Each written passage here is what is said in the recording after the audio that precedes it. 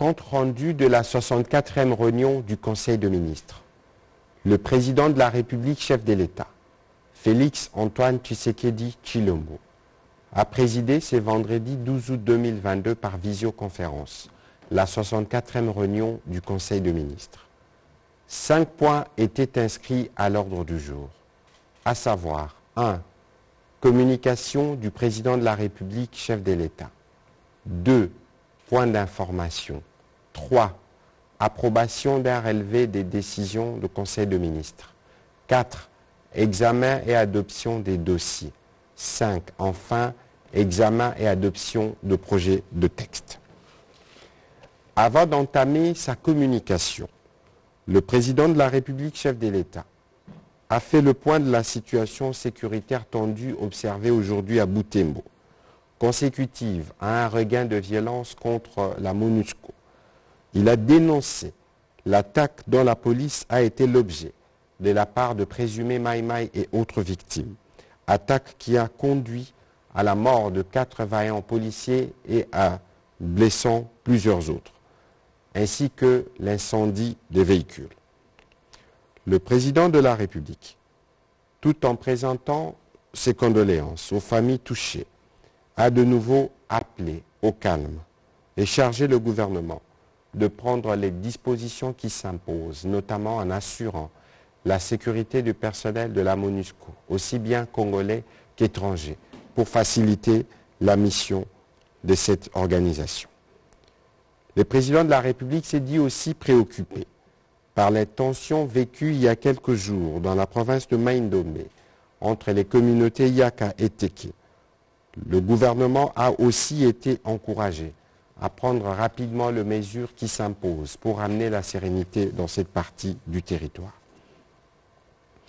Revenant sur sa communication, le président de la République s'est dit préoccupé par des bruits de grève initié par le banc syndical, en raison notamment des divergences complexifiant tout dialogue ou compromis ou à la non-application pourtant agréée de certains accords.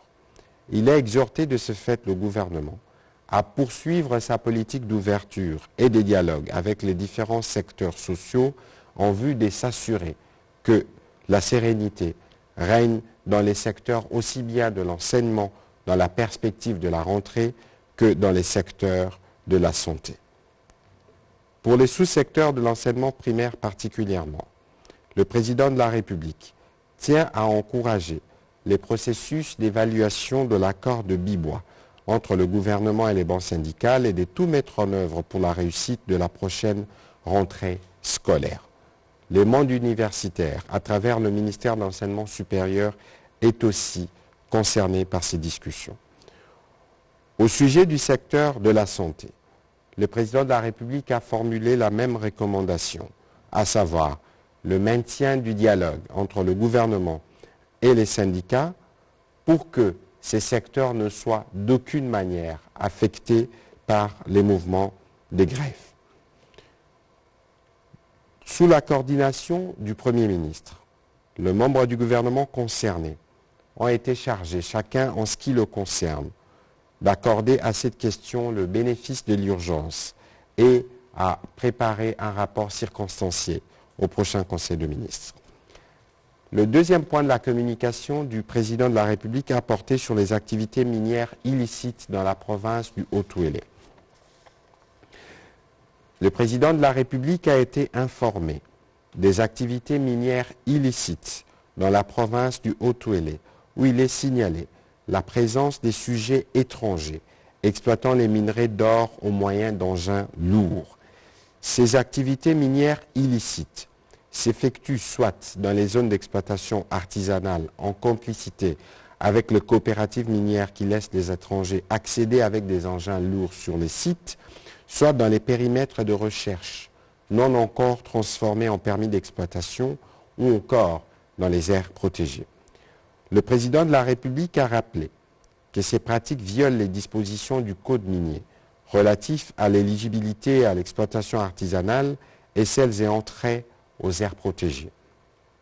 Tout en rappelant ces instructions lors de la 29e réunion du Conseil de ministres en rapport avec la lutte contre la fraude minière, notamment la poursuite de l'identification de périmètres de recherche où s'effectuent les activités minières illicites.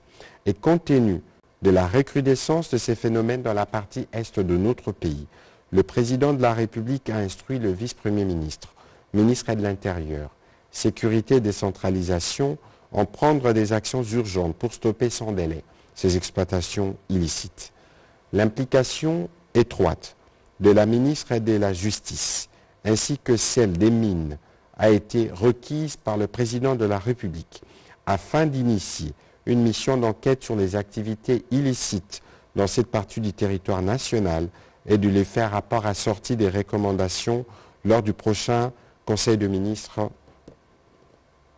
3. De la troisième revue de la facilité élargie de crédit et atteinte des objectifs du programme conclu avec le Fonds monétaire international.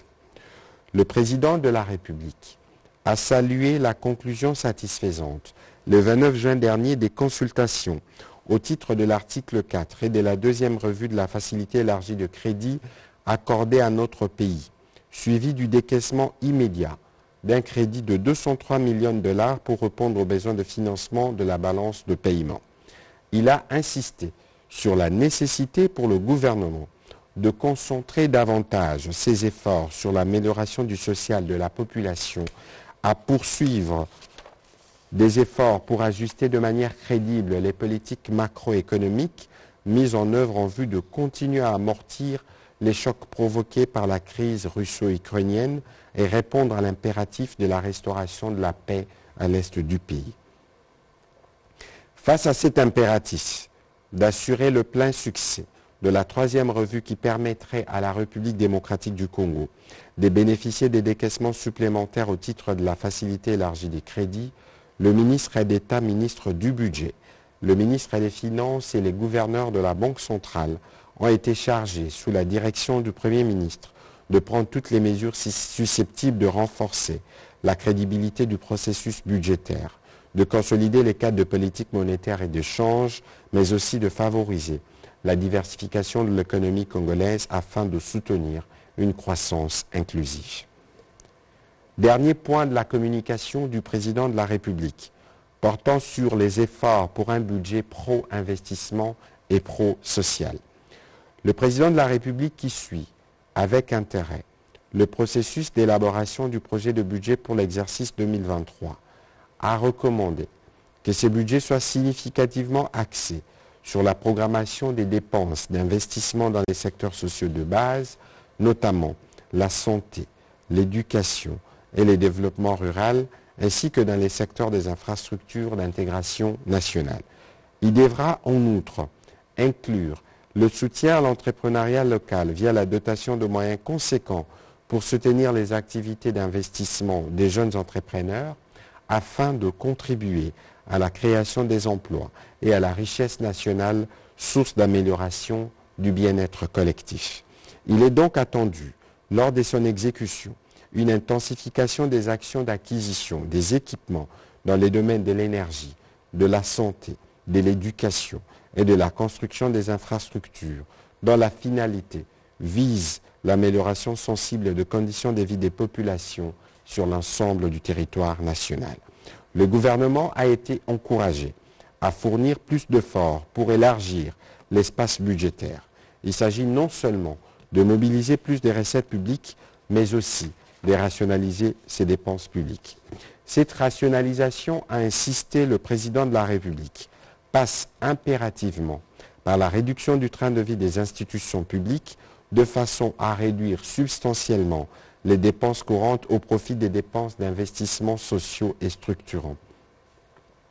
Sous la supervision du Premier ministre, le ministre d'État, ministre du Plan et le ministre d'État, ministre du Budget, ont été chargés de veiller à ce que cette priorité d'investissement soit prise en compte dans l'élaboration du projet de la loi de finances pour l'exercice 2023. Intervenant à la suite de la communication du président de la République, le Premier ministre et chef du gouvernement a articulé son intervention sur deux points. Mais avant d'aborder ces points, il a tenu, au sujet de la situation sécuritaire qui a prévalu aujourd'hui à Boutembo, à rappeler la nécessité pour tous de veiller au maintien du calme et à respecter les biens du personnel de la MONUSCO, aussi bien congolais qu'étrangers. En premier lieu, le Premier ministre a informé le Conseil, consécutivement à la recommandation du Président de la République lors de la 63e réunion du Conseil de ministres, du niveau de satisfaction des clauses suspensives contenues dans la Convention amendée et consolidée du 11 décembre 2021 relative à la matérialisation du projet port en eau profonde de Banana entre le gouvernement de la République démocratique du Congo et la, et la firme Dubai Portworld. Qu'il s'agisse de conditions à relever liées à la responsabilité du REC de gouvernement, que les engagements pris par le concessionnaire, le Premier ministre a indiqué que les processus avancent de manière satisfaisante. En second lieu, le Premier ministre a informé le Conseil que dans la perspective d'une rentrée scolaire apaisée, une commission paritaire banque gouvernementale et banque syndicale du secteur de l'EPST se tient présentement à Mbouela Lodge dans le Congo central.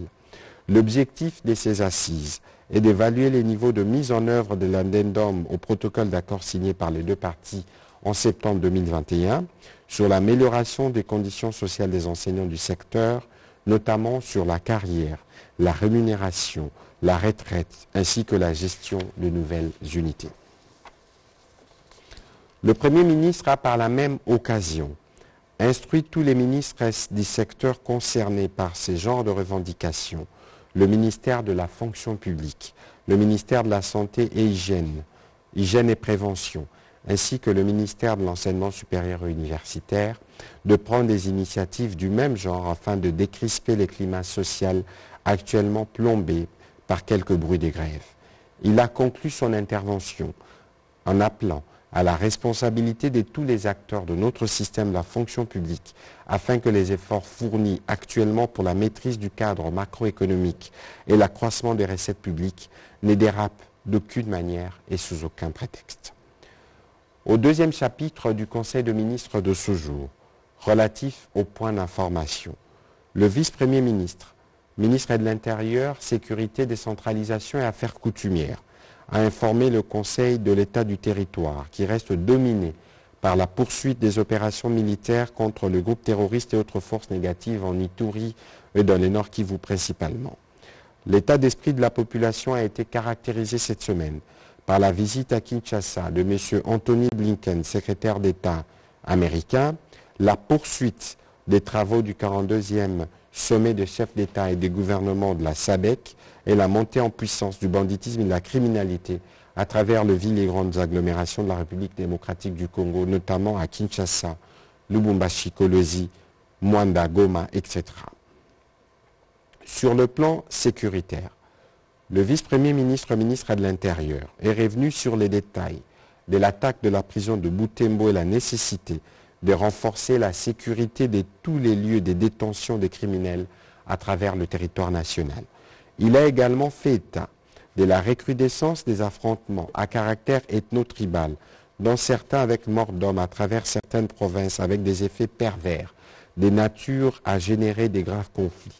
Cette situation est enregistrée dans les provinces ci-après, Kassai central, Kassai oriental, Kwilu, Mongala, Ituri, Maindombe, Équateur, Olomami, Chapa et Congo central. Ces affrontements ont aussi pour cause les limites administratives, le conflit foncier, le conflit des leaderships locaux et occupation de terre. Plus particulièrement, dans la province du Maindombe, il a insisté sur les graves affrontements entre les tribus Teke et Yaka dans les territoires de Kwamut. Ces événements malheureux et tragiques appellent le gouvernement de la République à ouvrir l'œil et à tout mettre en œuvre afin que des dispositions conséquentes soient prises pour imposer la paix et la sécurité dans ces parties du territoire.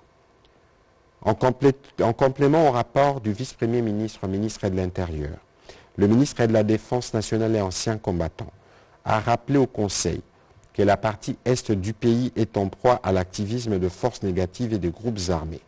Il a aussi mentionné la résurgence du conflit communautaire entre Yaka et Teke dans la province de Maindombe, dont les derniers affrontements ont entraîné la mort de trois policiers et trois militaires. Les services de sécurité ont d'ores et déjà été instruits pour prendre les dispositions requises pour contenir cette situation. En territoire de Béni le 3 août, départ de la localité Mutwanga pour Béni d'un convoi avec 50 éléments tanzaniens de la FIB impliqués dans la fusillade de la population congolaise au poste frontalier des Kassindi afin de rencontrer une enquête, une équipe d'enquêteurs de la MONUSCO venue de Goma. Le ministre de la Défense et ancien combattant est aussi revenu sur l'attaque de la prison centrale des Kakwangura de Butembo par les ADF visant à libérer leurs compagnons arrêtés dans la vallée de Mwalika, chefferie Bachou et les Maïmaï actifs dans les périphéries de la localité de Boutéré. Dans leur repli, les assaillants sont tombés dans une embuscade tendue par les forces armées à Bunyuka. La traque continue dans la vallée de Mwalika et dans la périphérie de Boutembo pour récupérer ces récalcitrants. Dans les territoires de Rutshuru, le ministre de la Défense a signalé que depuis le vendredi 5 août 2022, un groupe de jeunes se réclamant de la lucha passe jour et nuit devant les installations de la MONUSCO à Kiwanja. La relève est organisée se relaye depuis le début des manifestations afin de maintenir la pression pour obtenir le départ de la MONUSCO de leur entité. Face à cette situation, les éléments de la MONUSCO sont en difficulté de ravitaillement de leurs collègues basés vers le pont Rwanguba dont la mission est de fixer l'ennemi M23 et, et alliés vers Kabindi. Les instructions ont été données à la police nationale pour s'assurer que c'est cette situation.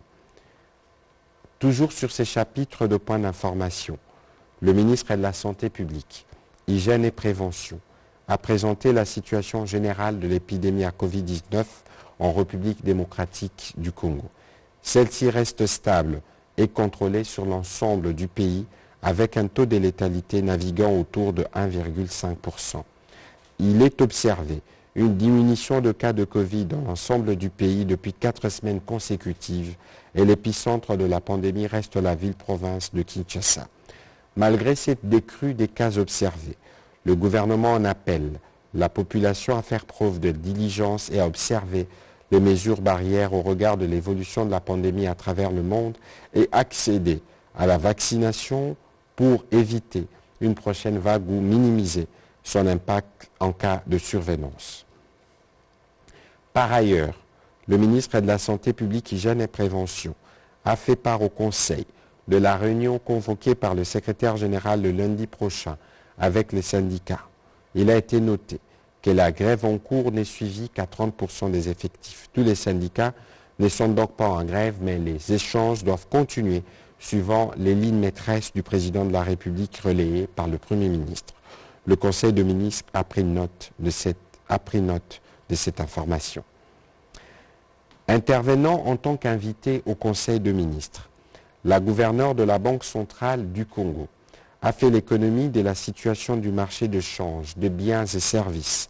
Elle a indiqué que l'économie nationale reste résiliente face aux effets de contagion de la guerre en Ukraine et de la pandémie à Covid-19. En effet, la croissance prévue du PIB réel, estimée à 6,1%, demeure supérieure à la moyenne de l'Afrique subsaharienne. Elle est principalement portée par les dynamismes du secteur minier. Les rythmes de formation de prix s'est globalement maintenu à son niveau de la semaine précédente, attesté par un taux d'inflation hebdomadaire de 0,2%, portant les cumuls annuels à 7,1%. Le marché d'échange est resté globalement stable, avec de faibles variations du taux d'échange, justifié par une appréciation de 0,2% sur le marché officiel et par une dépréciation de 0,24% en parallèle. En cumul annuel, la monnaie nationale a perdu près de 0,9% de sa valeur au parallèle face à une dépréciation de 0,3% à l'indicatif. Les réserves internationales gravitent autour de 4,2 milliards de dollars américains, soit un niveau correspondant à plus de deux mois en termes de couverture d'importation des biens et services. Face à la persistance des pressions inflationnistes à la suite de l'envolée des prix de produits pétroliers et céréaliers à l'international, la gouverneure de la Banque centrale du Congo a rassuré le Conseil de la poursuite de la coordination des actions au niveau de la politique budgétaire et de la politique monétaire, ainsi que du maintien du pacte de stabilité. Le Conseil a pris acte de ce rapport. Toujours sur ces chapitres de points d'information, rapport d'enquête sur les, manifestations anti-MONUSCO. La ministre d'État, ministre de la Justice et garde de Sceaux a fait rapport au Conseil sur les actes attentatoires à l'ordre public, à la destruction de certains sites et biens de la mission des Nations Unies en République démocratique du Congo.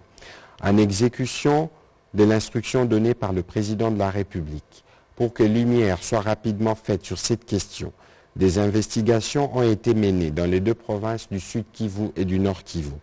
La procédure en cours est à la constatation des faits, en procédant notamment à l'autopsie sur les dépouilles des victimes, en plus de l'identification d'une centaine de personnes blessées durant ces manifestations.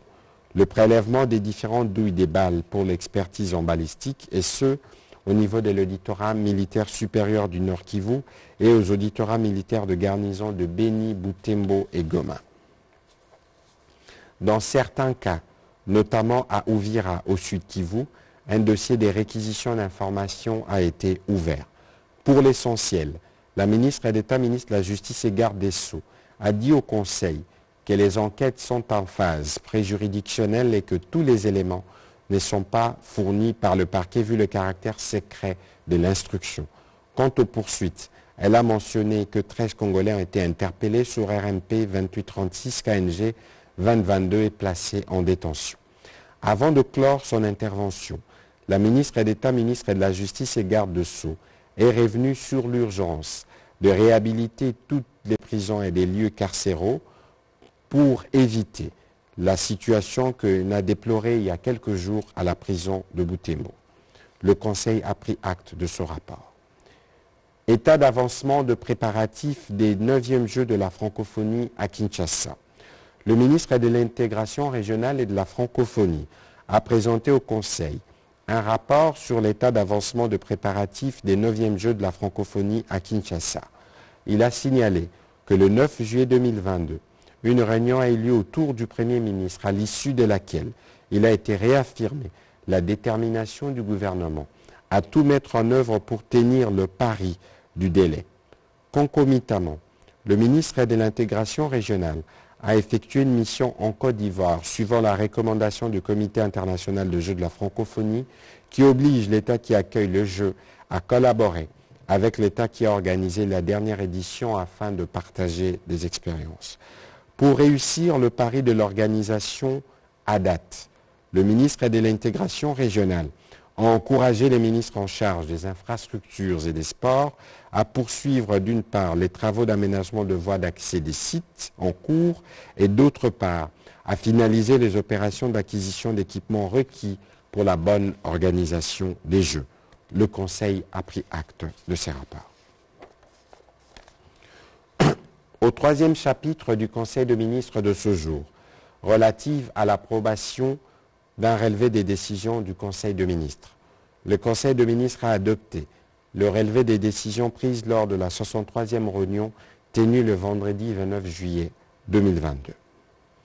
Au quatrième chapitre du Conseil de ministres de ce jour, relatif à l'examen et à l'adoption de dossiers, trois dossiers ont été soumis à examen. Le premier, offre de partenariat public-privé, ministère de la Justice et la firme AUFS. La ministre d'État, ministre de la Justice et garde de Sceaux a présenté au Conseil le projet d'offre de partenariat public-privé sous la forme BIOTI, soumis à son ministère par la société de droit congolais African Union Financial Services, AUFS RDC. Cette offre porte sur l'acquisition d'une infrastructure numérique à implémenter sur l'ensemble du territoire national pour reformer les fonctionnements des administrations, cours, tribunaux et parquets, ainsi que toutes les structures qui dépendent du ministère de la Justice. Le caractère intégrateur de ce projet vise notamment l'interconnexion des administrations, la traçabilité de la gouvernance des diverses opérations liées aux établissements pénitentiaires, la production et la délivrance des extraits de casiers judiciaires en temps réel sur toute l'étendue de la République démocratique du Congo, l'harmonisation et la nationalisation des procédures pour l'obtention des documents délivrés par le ministère de la Justice, la synchronisation instantanée de dossiers entre les différentes provinces judiciaires, l'interconnexion de tous les services générateurs des recettes du ministère comprenant le cours tribunaux et parquets, la lutte contre le coulage de recettes de l'État et la maximisation de celles-ci enfin. Considérant le rapport satisfaisant de la commission ministérielle chargée de l'examen approfondi de cette offre, la ministre d'État, ministre de la Justice et garde-sous a sollicité les quitus du gouvernement pour la poursuite des négociations en vue de l'aboutissement éventuel de ces partenariats. Après débat et délibération, le Conseil a pris acte de l'initiative de la réforme et a encouragé son enrichissement quant aux modalités concernant le partenariat spécifiquement par la Commission économique et financière du gouvernement. Deuxième dossier, point sur la situation des finances publiques. Le ministre des Finances a informé le Conseil de l'état satisfaisant de mobilisation des recettes publiques dans le cadre de la mise en œuvre de mesures édictées par le gouvernement. Après sept mois seulement d'exercice, nous avons mobilisé en 2022 tout ce que nous avons pu mobiliser en 12 mois pour l'exercice 2021. Il a précisé que les recettes mobilisées au mois de juillet 2022 ont été de 1,1701,9 milliards de francs congolais, soit 117% de taux de réalisation par rapport aux prévisions mensuelles qui arrêtaient à 1458,8 milliards de francs congolais. Les régies financières, telles que la Direction générale des impôts et la Direction générale de recettes administratives, judiciaires, domaniales et des participations des GERAD, ont dépassé leurs assignations budgétaires mensuelles respectivement de 132% et de 126% excepté la Direction générale de douane et axes, dont la performance a largement dépassé la moyenne pour se situer à près de 82%. En cumul, les recettes mobilisées au 1er janvier, du 1er janvier au 1er août 2022 ces chiffres à 11 817,1 milliards de francs congolais, soit 80% du taux de réalisation par rapport aux prévisions annuelles de 14 790,9 milliards de francs congolais. Après de sept mois et demi de l'année en cours, les gouvernements ont mobilisé plus de recettes que celles qui l'ont été durant toute l'année 2021, soit 11 626,5 milliards de francs congolais. Le ministre des Finances a rassuré le Conseil des mesures stratégiques qui ont été prises pour maintenir la tendance haussière de mobilisation de recettes et la maximisation de celles-ci jusqu'à la fin de cette année. Il s'agit pour la DGDA de la finalisation des dossiers contentieux, notamment ceux de pétroliers distributeurs dans l'ex-Katanga et du renforcement de contrôle des destinations de marchandises, surtout celles exonérées. Pour la DGI, la poursuite du contrôle et du recouvrement de superprofits auprès des entreprises minières et des contrôles des sincérités des déclarations d'impôt sur les bénéfices et profits à l'échéance fiscale d'avril 2022. Pour la DGRAD, la continuation des missions mixtes de contrôle entre cette régie financière et les services d'assiette dans les secteurs à fort enjeu fiscal, environnement, transport et voies de communication, télécommunications et santé. Quant aux dépenses mensuelles, elles se sont chiffrées à 2161 milliards de francs congolais. Elles ont couvert d'abord les dépenses sécuritaires, regroupées principalement dans les rubriques des dépenses exceptionnelles et en capital, dans les financements de la construction et la réhabilitation de routes en terre battues des 50 millions de dollars à travers l'Office de route. Au 11 août 2022, les dépenses publiques du mois se chiffrent à 626 milliards de francs congolais. Cette accélération des dépenses au début du mois est justifiée par le paiement de la dotation à la Commission électorale nationale indépendante 123 milliards de francs congolais, les dépenses sécuritaires 124 milliards de francs congolais, la dette publique extérieure 31 milliards de francs congolais, les dépenses en capital chiffrées à près de 79 milliards de francs congolais. Complétant le ministre de Finances, le ministre d'État, ministre du Budget, est revenu sur les principaux axes pour la préparation du projet du budget pour l'exercice 2023 conformément à la lettre d'orientation budgétaire du Premier ministre envoyée en tous les services en juillet dernier. Et suivant les orientations du Président de la République, ces budgets mettra un accent particulier sur les investissements dans les secteurs de la santé, de l'éducation, de l'agriculture et d'autres secteurs porteurs de croissance. Après débat et délibération, le Conseil a adopté ces dossiers. Troisième dossier, mise en œuvre de la loi organique portant protection et promotion des droits de la personne vivant avec handicap. La ministre est déléguée auprès du ministre des Affaires sociales, chargé des personnes vivant avec handicap et autres personnes vulnérables, a présenté au Conseil le chronogramme des mises en œuvre de la loi organique numéro 22 003 du 3 mai 2022 portant protection et promotion des droits de la personne vivant avec handicap. Faisant suite à la communication du président de la République au cours de la 62e réunion du Conseil de ministres, le président de la République avait, après avoir salué les votes et la promulgation de cette loi organique, insisté pour que dans les délais impartis, le gouvernement réalise toutes les assignations permettant d'avoir les cadres structurels, juridiques et réglementaires nécessaires à la mise en œuvre de ces textes légaux. L'instruction a été donnée à l'occasion à la ministre déléguée, en collaboration avec le ministère sectoriel concerné, dans la mise en œuvre de la dite loi, d'élaborer sous la supervision du Premier ministre un chronogramme de travail sur les différentes implications juridiques, structurelles et fonctionnelles relatives à son opérationnalisation et de les présenter à la première réunion du Conseil des ministres du 12 août 2022. La ministre des délégués a souligné que contrairement à l'ancienne conception fondée sur la humanitaire et la cistana, la loi organique en vigueur prône une approche basée sur le droit en mettant en exergue les actions d'autonomisation et d'accessibilité pour l'inclusion effective de personnes vivant avec handicap dans tous les domaines de la vie en société. Et elle a présenté le chronogramme irrelatif. Après débat et délibération, le Conseil a adopté ces dossiers. Dernier point inscrit à l'ordre du jour du Conseil de ministres de ce jour, examen et adoption d'un projet de texte. Projet d'ordonnance loi portant autorisation de la prorogation de l'état de siège la ministre d'État, ministre de la Justice et garde de Sceaux, a soumis au Conseil le projet de loi autorisant la prorogation de l'état de siège dans les provinces de Litouri et du Nord Kivu pour une période de 15 jours, prenant cours le 19 août 2022. Cette prorogation permettra à nos forces de sécurité de poursuivre les opérations en cours dans ces parties du pays. Après débat et délibération, le Conseil a adopté ces projets d'ordonnance loi. Commencé à 12h58. La réunion du Conseil de ministres a pris fin à 18h15. Je vous remercie.